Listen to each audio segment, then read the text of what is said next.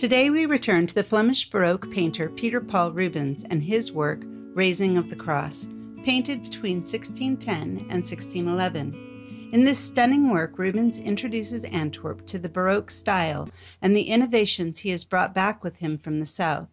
Rubens had returned from eight years in Italy, and the influences of his time there are evident in this painting. Michelangelo's sculptural forms, Titian's colors, and Caravaggio's chiaroscuro are still fresh in Rubens' mind. Additionally, Rubens had seen Laocoon, the ancient sculpture that had recently been recovered and was displayed in the Vatican. Laocoon would serve as the model for many artists wishing to portray anguish with the human figure. We know that Rubens made multiple sketches of the work, along with other classical sculptures during his time in Rome. Rubens combined these Italian influences with the lucidity of Flemish art, creating a unique, expressive visual language. The Raising of the Cross, while completed early in his career, suggests the powerful realism and emotional confidence that would make his work suitable for a varied audience, including secular rulers, wealthy patrons, and the Catholic Church.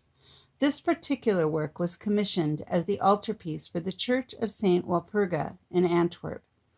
The altar area in the church presented Rubens with several challenges. First, the altar was quite high, 19 steps up. Additionally, the choir section of the church was unusually long. This meant that parishioners in the nave would have trouble viewing the painting.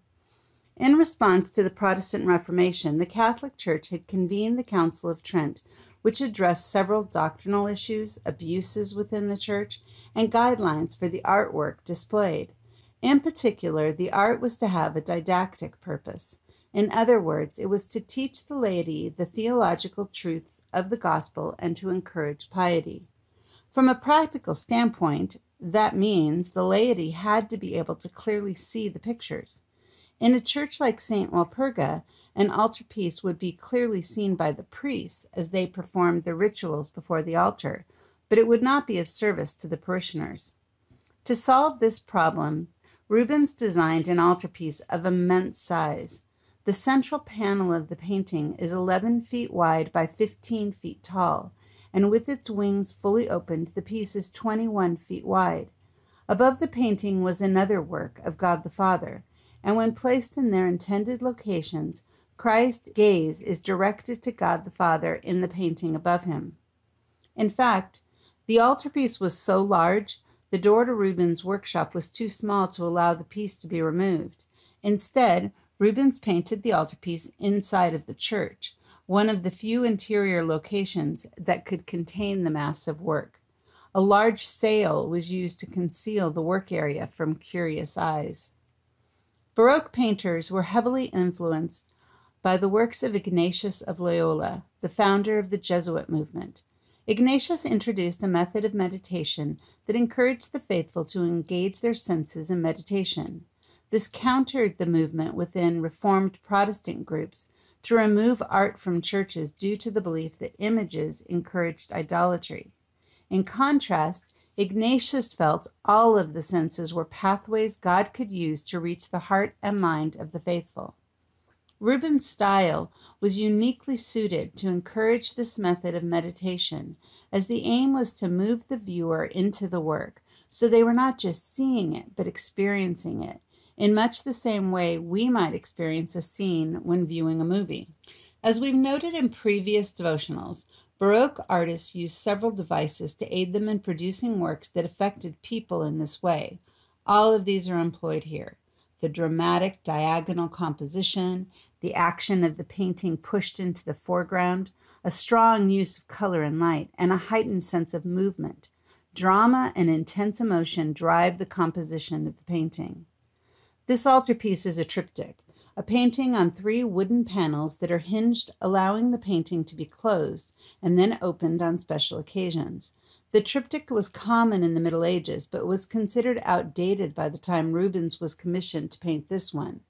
Undeterred, he made some unusual changes to update the style. Normally, the side panels of a triptych contained related but independent scenes. often including the Virgin Mary, other saints, possibly the patrons who were paying for the work. But instead, Rubens has chosen to continue the action of the central section onto the side panels. The continuity of the scenes is reinforced by the landscape and sky flowing onto the side panels. Now, Napoleon was an admirer of Rubens' work, and when Antwerp came under his rule, this painting, along with many others of Rubens, were removed and taken to Paris. After Napoleon's fall, the painting was returned to Antwerp. Unfortunately, the church of St. Walpurga had been heavily damaged by war and was demolished. The altarpiece was instead taken to the Cathedral of Our Lady in Antwerp, where it remains. Inside of the cathedral, the raising of the cross is placed in the northern transept. The deposition, or the taking Christ down from the cross, is in the southern transept.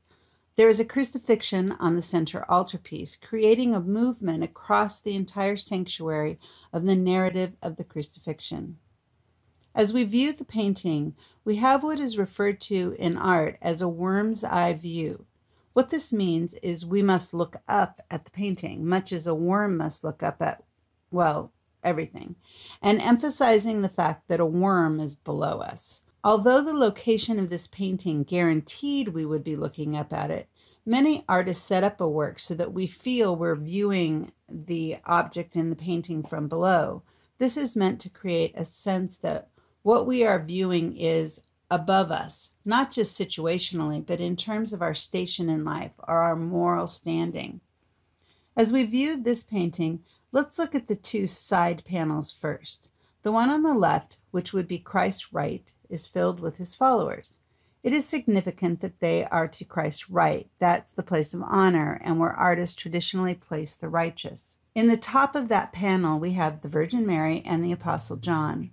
From this time forward, they will consistently be pictured together, the two who loved Christ most deeply.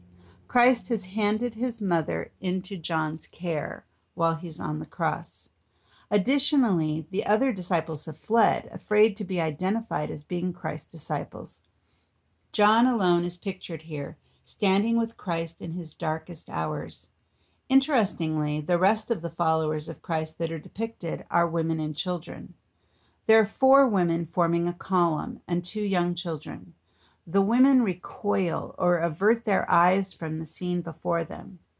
The woman in pink at the bottom falls back, a look of horror on her face. Her gaze is locked on the face of Christ, directing our focus there. Her baby, who had been nursing, is so disturbed by the sights, sounds, and distress of his or her mother that they stop feeding. And can we just stop for a minute and learn something here about normalizing the practice of breastfeeding? On the panel to the right, but Christ left, we have those who are in charge of the crucifixion and the two criminals who will be executed with Christ. The soldier on horseback who is overseeing the executions is hardened and unaffected by the scene before him. His baton reaches out, pointing us to the feet of Christ. Beyond him, we see the two criminals, one already on the ground being nailed to his cross, and the other one being forced forward by a soldier, presumably to assume his position on a cross. At the top of the panel, we find the sun and moon, and we can see that a total eclipse is about to occur. Luke 23 tells us, It was now about noon, and darkness came over the whole land until three in the afternoon, for the sun stopped shining. Here, Reuben tells us that it is nearly time for darkness to descend. At this time, a feast day was celebrated every September 14th called the exaltation of the cross. The verse that was read on this day was John 12:35. Then Jesus told them, "You are going to have the light just a little while longer. Walk while you have the light, before darkness overtakes you. Whoever walks in the dark does not know where they are going. Believe in the light while you have the light, so that you may become children of light." Jesus, the light of the world, will not be with them much longer. The center painting is dominated by Christ's pale body, recently nailed to the cross. There are nine executioners straining with all their might to raise the cross. We can all but hear their grunts as they try to wrestle the cross into an upright position. The cross and Christ form a receding diagonal that adds a sense of urgency and drama. One executioner in the front has a rope he is pulling forward. Another crouches on the other side of the cross, using his back to push up. A few are at the base of the cross. One has climbed above the cross to help shove. Most noticeable is the Herculean sized man in the front who is lifting, his muscles straining. We wonder if they are going to be able to manage to get the cross up, or if it is going to come crashing back to the ground. These men and the physicality of the body of Christ all show the influence that Michelangelo has had on Rubens. The muscularity is extreme. Beyond adding to the drama of the moment, Rubens is making visual the weight of sin that Christ is taking onto himself. That weight is making it nearly impossible for nine excessively burly men to raise the cross. While we often contemplate the suffering of the scourging and the nails, we do not take into account the crushing weight of mankind's sin that Christ must bear to finish his work. Here Rubens attempts to make that weight visible. Christ's body is not the wimpy, thin body of many crucifixion paintings, but a body rippling with muscles, straining and twisting as he lifts his head to look up at God the Father. It is easy to imagine in this moment that Christ is uttering those devastating words My God, my God, why have you forsaken me? Reuben chooses to emphasize Christ's body to force the viewer to recognize Christ's humanity. Here, Christ is fully human and he suffers physically, just as we would, to save mankind. The dog at his feet recalls a traditional iconography of the Passion that is taken from Psalm 22, sometimes referred to as the Psalm of the Suffering Servant. Psalm 22:16 says, "Dogs surround me, a pack of villains encircles me; they pierce my hands and feet." Of the executioners and the soldiers, only one appears shocked and confused by the events. The soldier who is assisting in the lifting of the cross appears to be looking at Christ as if wondering who he is and what he is participating in. It is believed that Rubens modeled this soldier after himself, emphasizing that he participated in crucifying Christ. It's as if Rubens is painting the verse from John 8 that says, When you have lifted up the Son of Man, then you will know that I am he. As we look at this soldier's face, it's as if he's realizing that Christ might indeed be the Son of God. There is a twisting, blowing oak tree behind Christ that is filling and darkening the background. This stands for the tree of life, and after Christ's resurrection, the cross will be called the tree of life, for through it mankind can find life. Rubens provides us with bold and powerful imagery and invites us to place ourselves into the midst of this painting, just like he drew himself into the painting. This is an idea that I was unfamiliar with until Kelly pointed it out. It has changed the way I look at works of art. Who would I be in this scene? This leads to larger questions like, who am I? How do I respond in crisis? What kind of friend am I? What are the impacts of my own betrayals in life? Kelly has done a lot of videos and blog posts on famous works of art, and there are more to come. Make sure to subscribe to her YouTube channel by selecting the subscribe button below, and please give her a thumbs up since you liked the video. Those small gestures help us a great deal. If you want to share the video on your preferred social media service, that would be appreciated as well. We are super excited about the work at kellybagdanov.com and this YouTube channel. Art and art history serve as a great vehicle for discussion and challenge into the great ideas and issues in life. Artists are master communicators, like poets and novelists, modern filmmakers and other artists. Their work challenges us in ways that other mediums cannot. Our primary focus is to provide curriculum to educators that engage and nurture the curiosity of students to explore not only their world, but the world and ideas of the past.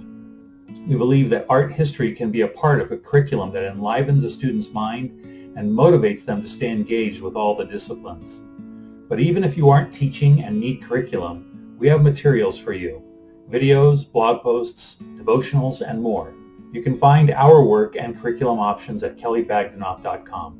If you're still watching, thank you. I posted this video. There's a companion devotional video that takes you deeper into the area of contemplation. It should be right here above my shoulder. Give it a look. Thanks for watching. Make sure to like this video by giving us a thumbs up below and make sure to subscribe so you don't miss great commentary on classic works of art.